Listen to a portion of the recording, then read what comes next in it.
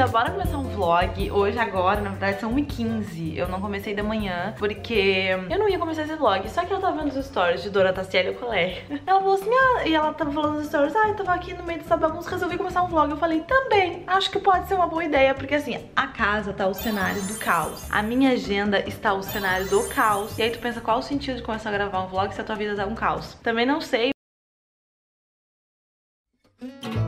tem um monte de coisa de trabalho pra fazer, tem um monte de coisa pra resolver, mas eu sei que vocês gostam de dia correria comigo, então vou mostrar umas comprinhas que eu fiz ontem. Ai, fiz umas comprinhas babado ontem. Começando por agenda cheia, não posso mostrar. E isso aqui é o meu livro de movimento de caixa, gente. Eu deveria ter isso no, no computador? Deveria, mas quando eu era maquiadora, sério, olha isso, quando eu era maquiadora, eu comecei a anotar, tá vendo? E aí eu, eu anotava, meu Deus, eu anotava inclusive o que eu gastava. Uma caixa de cílios, 16 reais. Uma meia make sem cílios. 50 reais, que era o que eu cobrava na época. Então, olha isso. Eu comecei aqui, ó, em 2017, quando eu maquiava, em 2017. E até hoje eu anoto aqui as minhas finanças. Óbvio que eu tenho algumas coisas documentadas no computador, mas isso aqui ainda eu anoto, vejo que entra, vejo que sai. Meu movimento de caixa, meu financeiro. Inclusive, uma das coisas que eu preciso fazer, que eu não sei se vou fazer hoje, porque não acho que a data não é, não é hoje ainda, é pagar o meu minha guia mensal que eu tenho que pagar pro meu MEI, né? Eu sou MEI e eu tenho que pagar aquela guia mensal que a gente paga NSS e tal, imposto e tudo. Então, tem que fazer isso. Mas acho, acho que eu nem vou fazer isso hoje, porque eles prorrogaram a data pra pagar, então acho que eu vou pagar um pouquinho mais pra frente. Então,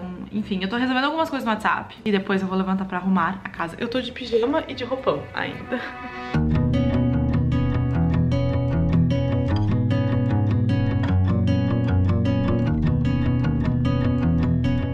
comecei a falar de organização financeira, eu vou contar pra vocês. Uh, eu tenho três cadernos, digamos assim. A minha agenda, aqui basicamente eu coloco as coisas que eu preciso fazer no dia. Eu gostei muito dessa agenda porque essa agenda ela é assim, ó. Aqui então fica as coisas do dia que eu anoto, por exemplo, ah, sei lá, às 3 horas da tarde tenho que postar tal coisa, tá? Marco o que eu tenho que botar no dia e aqui tem uma página em branco, o que é muito bom, porque eu tenho muita coisa que eu tenho que, tipo, eu tenho que fazer, mas não necessariamente a segunda ou terça, mas tem que fazer, então eu deixo anotado aqui. Aqui é o meu movimento de caixa que eu falei pra vocês, e esse aqui é um caderno que eu tenho da Católica, é, que é uma faculdade que eu fiz, enfim. Ele é um caderno normal, mas que eu anoto várias coisas aqui. Eu anoto financeiro, então, tipo assim, ó, quem já pagou, quem não pagou, o que eu preciso cobrar, o que eu não preciso cobrar, sabe, de cliente. E também anotações de tipo, ah, aquele vídeo, vou fazer aquele vídeo, ideia de vídeo, roteiro de vídeo, roteiro de Reels, aí anotações assim. Essa é a minha organização.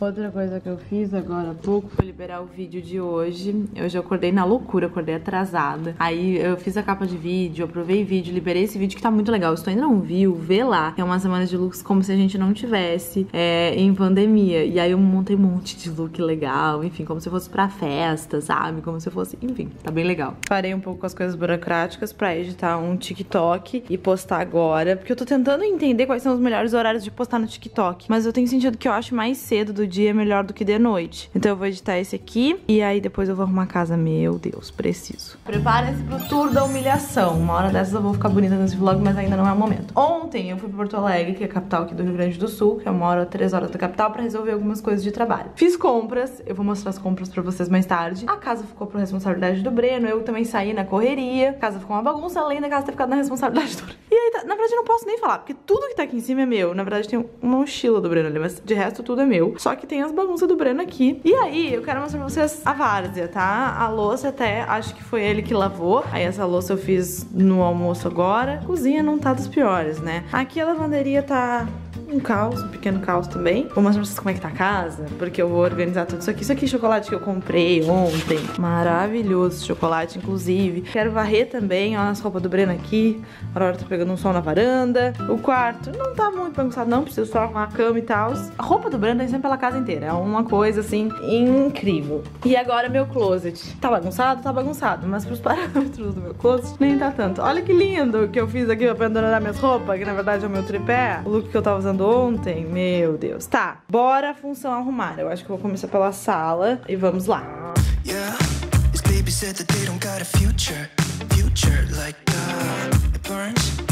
something worse to kill his head with, make him forget somehow. Might be that another day she would have wished he stayed, but they're done. Sorry, won't be enough this time. Enquanto eu arrumo a casa, ela dorme em cima da minha pantufa. Essa pantufa já é daquele que é dela, né? Porque ela gosta.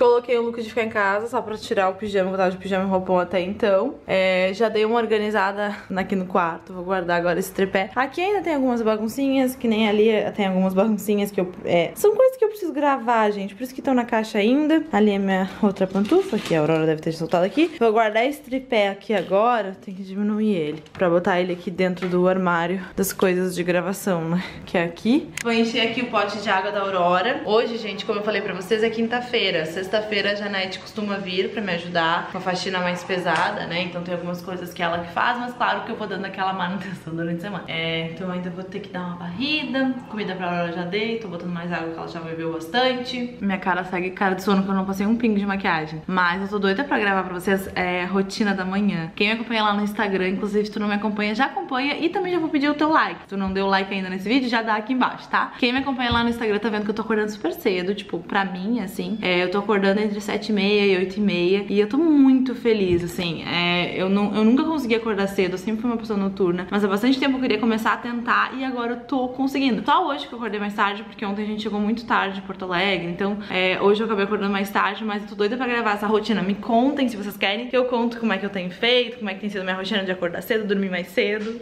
Ontem, quando eu tava em Porto Alegre, chegaram duas encomendas pra mim. Cada uma, uma vizinha minha pegou. É, são duas coisas de trabalho. Uma eu sei que são acessórios da Zanda, que é uma parceira minha. Eu adoro os acessórios de lá. Eu tenho um colar de moedas de lá que eu sempre uso e vocês sempre perguntam de onde é. Coisas que eu tô recebendo pra fazer publicidade. E esse outro aqui também é pra fazer publicidade, mas eu não sei quando vai sair. Eu acho que ainda demora um pouquinho. E assim, é da Page. Ah, tô muito chique, gente. Tô muito chiquérrima. Olha como vem bonitinho. Elas mandam assim, ó, baguria, eu tava ansiosa pra te conhecer logo, tu vai ficar ainda mais bonita, dizendo aí. Ai, vem tudo muito bem embaladinho, nem sei se eu posso mostrar essas novidades pra vocês, porque são lançamentos que elas ainda não lançaram, mas eu já estou recebendo. Vou sentar aqui, eu ia mostrar as comprinhas agora, agora pra vocês da Zara, que eu comprei ontem. Porém, eu me lembrei que eu não fiz stories pra o Instagram do meu pai, né? Pro acadêmica, que eu falei que eu tô cuidando do, do Instagram da papelaria do meu pai. É, geralmente eu faço de manhã, como eu falei, eu tenho feito, eu tenho acordado cedo, então logo que eu acordo eu faço. Só que hoje, como eu acordei tarde, eu não fiz. Já tá bem tarde, duas e meia, mas eu vou postar alguma coisinha.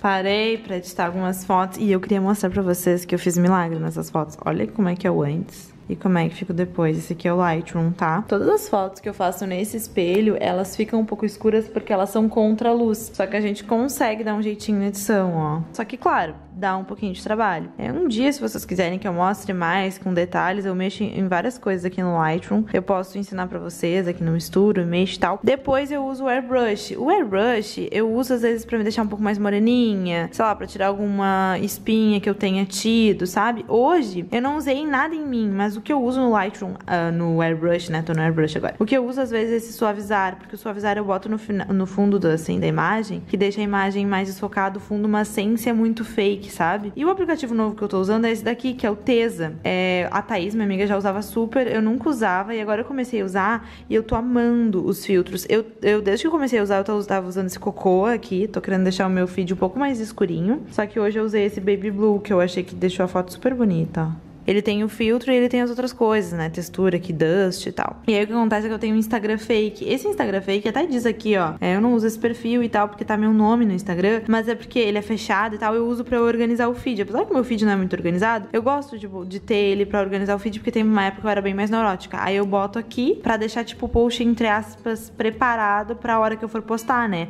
Agora são 3 horas da tarde, então eu ainda não vou postar. Mas eu tenho esse Instagram aqui, entendeu? Enfim. Bora!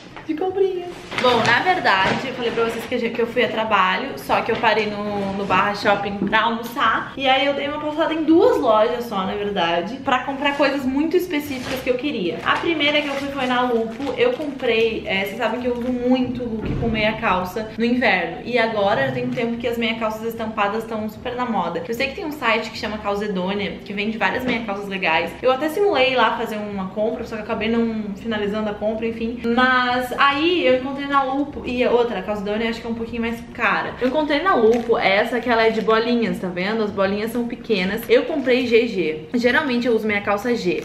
Só que essa que é de bolinhas, eu fiquei com medo das bolinhas ficar esgaçadas, sei lá. Daí eu comprei GG, foi 32 reais. Ela é preta, mas ela é, é dessa fio fininho, né? Fio 15. Tô doida pra usar e fazer um look com isso aqui. Então eu comprei isso e depois eu fui na Zara. Eu acho comprar no site da Zara bem complicado. Porque o que, que eu acho? A Zara é mais cara, né? Mas eu acho que tem coisas que valem a pena. Só que tem coisas que eu acho que valem e tem coisas que eu acho que não valem tanto assim. E eu gosto de olhar, né, pra sentir tecido e tal. Fora que tamanho na Zara eu acho complicado. Vocês vão ver que eu comprei dois casacos. E um eu comprei M e ficou bem justinho, assim, ficou bem, enfim. E outro eu comprei P e ainda ficou larguinho. Então, assim, eu acho difícil também, porque os tamanhos, mesmo calça da Zara eu tenho 42, eu tenho calça 40. Então, eu vario muito, tu entendeu? De tamanho. Então, eu acho difícil comprar no aplicativo da Zara. Por isso que sempre que eu vou pra Porto Alegre eu tento dar uma passadinha. Bom, eu falei pra vocês, é, naquele vídeo que eu tava falando, reciclando o armário, fazendo, falando como é que eu fazia transição de estilo, que eu tinha nas minhas inspirações que eu queria casacos compridos, né? Tipo, maiores do que o joelho.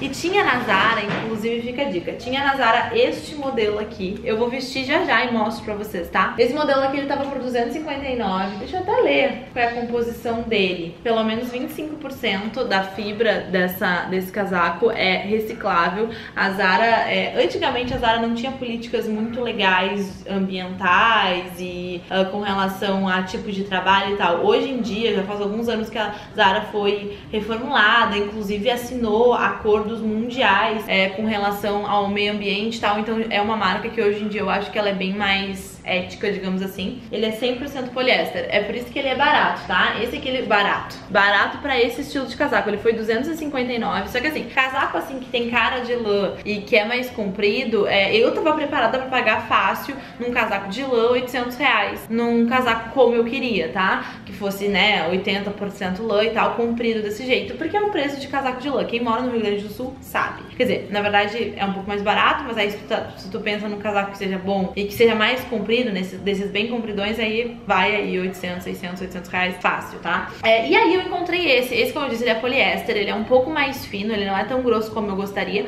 Só que eu já tinha dado uma olhada em outros casacos, não tinha nada que eu tinha gostado muito. E esse aqui, é, ele tem um comprimento que eu gosto, ele tem o um shape que eu gosto, ele só não é tão quente, não, tem, não é tão estruturado e tal. Porém, eu acho que vai funcionar pra vários looks que eu quero fazer e tava com preço bom, então eu achei que valia a pena. Não quer dizer que eu não vou comprar em algum momento, ano que vem, em algum momento, enfim, um casaco que seja comprido é, e que seja de lã mesmo e tal, acho que em algum momento eu vou comprar, mas eu encontrei esse agora e eu achei que ele foi bem válido. Inclusive, esse é o estilo de casaco, ele tem um corte bem limpo, assim, não tem nem, não tem nem acho que botão e tal. É um tipo de casaco que funciona super bem também pra tu botar em cima de vestido de festa, sabe? E mora no sul, sabe? Quando a gente tem festa, a gente tá arrumada e tal, no inverno é muito frio, então, e é difícil tu encontrar casacos que fiquem bem por cima desse estilo de vestido. E esse aqui é um que funciona. Então achei que valeu muito a pena. E Comprei esse casaco aqui também. Esse casaco eu olhei e falei, meu Deus. A Vitória Celedona, uma blogueira que eu adoro, ela tem um casaco assim bem grosso desses e depois ela lançou uma coleção, tinha um casaco bem grosso assim de, de oncinha. É, e ela sempre usou e eu sempre gostei muito, sempre quis um. Esse aqui é o tipo de casaco, esse aqui também, é, ele é poliéster, tá? Obviamente a pele fake e tal. Esse aqui custou 559, esse foi o que eu falei que eu comprei no P, tá? Ele é bem oversized. Eu experimentei o M, achei que ficou grande demais, aí fui pegar o P. Esse aqui eu peguei M, mas ele ficou um pouquinho mais justinho. Vou mostrar pra vocês no corpo já já. É, esse aqui é o tipo de casaco que, assim, é, eu uso uma vez, todo mundo lembra que eu tenho, porém é o tipo de casaco que eu acho que vai durar pra vida inteira, entendeu? Porque ele é um casaco é, desse, é, de onça, né? Por mais que a onça seja chamativa, é uma estampa eterna. Casaco, assim, de pele fake é uma coisa que no frio sempre faz sucesso, porque ele é extremamente quentinho. Eu acho que eu vou usar bastante. Se preparem pra ver ele lá no Instagram várias vezes, todo o inverno, a partir desse inverno. Tô com moletom, mas já com moletom vocês vão entender o porquê eu comprei esse casaco. Olha como deixou o meu moletom chique. Tô de moletom e tênis. E já ficou assim maravilhoso. Ele tem essa gola... Gente, ele é muito quente. Eu comprei P, mas o mesmo P ele fica bem oversize, sabe? Tem bastante espaço é, na manga sobrando pra gente botar blusões bem grossos por baixo. Ele tem esse botão aqui que eu posso fechar, mas dificilmente eu vou fechar, tá? Provavelmente eu vou usar ele mais aberto aqui. Ele tem bolso. Não, isso aqui, vocês não estão entendendo. E eu amei a estampa, porque assim, ó, estampa de onça é uma coisa eterna, só que eu sou chata pra estampa de onça. Se a estampa é muito laranja, por exemplo, eu acabo não gostando muito e tal. E essa aqui, ela não é muito laranja, ela é mais off mesmo, mais um begezinho, o que eu acho que é o tipo de estampa mais sofisticada que tem. Cara, vocês viram a diferença? Eu tava usando essa coisa aqui de moletom. E aí agora eu botei isso aqui, ficou surreal. Me sigam lá no Instagram pra vocês verem looks sério, porque hum, assim que estiver um pouquinho mais, que já tá bem frio, hoje eu acordei, tá uns 10 graus, eu vou postar. E o segundo casaco vai ficar tudo preto sobre preto, mas acho que vocês vão conseguir enxergar. É, esse aqui, como eu falei pra vocês, ele não tem um acabamento tão bom quanto o outro. Então, por exemplo, isso aqui, ó, vocês conseguem ver a parte interna, ela é solta, ele não é tão grosso quanto o outro, mas é isso que deixa a peça com um preço um pouco mais acessível. E eu acho que é, ele não vai ser pro frio maior frio do mundo, entendeu? Porque ele não é tão grosso assim, mas pro frio que não é tanto frio assim, ele funciona. Ele também deixa, ó, o look mais sofisticado, que agora eu tô toda de preto, teria que que ter no mínimo um colar aqui pra dar um tchan a mais. Mas ele realmente é bem, bem gostoso. Esse aqui tinha no caramelo, tinha no cinza, eu acho, tinha no bege também. Então tinha outras coisas. Até pensei em comprar, no be comprar do bege e comprar do caramelo, que eu acho que... Falei pra vocês que eu tô nessa vibe desses tons também. Porém, eu achei que o preto, como ele não tem uma qualidade tão boa, tipo de corte e tal, achei que o preto dá uma disfarçada nisso, sabe? E eu acho que o preto eu vou usar mais também. Então eu acabei optando por comprar, que eu também pensei em comprar dois, né? Porque gostei bastante do shape, sabe? Dele alongado alongado, assim. Ele não é super, super, super comprido, mas já, não, já é num comprimento que eu gostaria. Então, enfim, ó, vocês veem como ele fica também, claro, né, é modelo, mas é um modelo que fica um pouco mais ajustado na manga, então também não é pra botar vários blusões de lã embaixo, por exemplo, sabe, ele é um pouco mais justo. E esse aqui é M, como eu falei pra vocês, caso vocês queiram comprar no site, por exemplo, esse aqui tem uma modelagem mais justa, aquele ali tem uma modelagem bem ampla, aquele eu comprei P, esse eu, eu comprei M. Dei uma leve desaparecida, porque fui, né, fazer algumas coisas de trabalho, computador e tal, postar foto, isso aquilo, seis da tarde, postei minha foto agora às seis da tarde e vou treinar. Fazer um treino em casa bem bem de boa, porque na verdade eu não tô, eu tô com bastante preguiça. Porém, eu ia tomar um banho agora e pensei, que que custa, né? Fazer um negocinho ali. Eu tenho, tenho esses treinos do YouTube de 10 minutinhos que eu faço, eu sempre assisto a, a Chloe Think, né? Que ela é gringa, mas, né, qualquer pessoa pode botar e assistir o treino dela, porque ela demonstra e tu faz. Já mostrei, mas não custa mostrar de novo. Essa aqui, ó, é assim o nome. Aí ela tem vários treinos, eu escolho algum pra fazer e faço. Outra coisa, o bom de treinar em casa é que dá pra treinar de qualquer jeito. Eu gosto de me arrumar, inclusive roupa de academia. Até comprei umas roupas de academia nova. Porém, quando eu tô em casa, às vezes eu treino até de short de pijama. Fico bem à vontade, isso é bem gostoso também. Hoje eu botei um, um short saia aqui, que é de academia, mas às vezes eu treino de pijama. Enfim, vou escolher um aqui.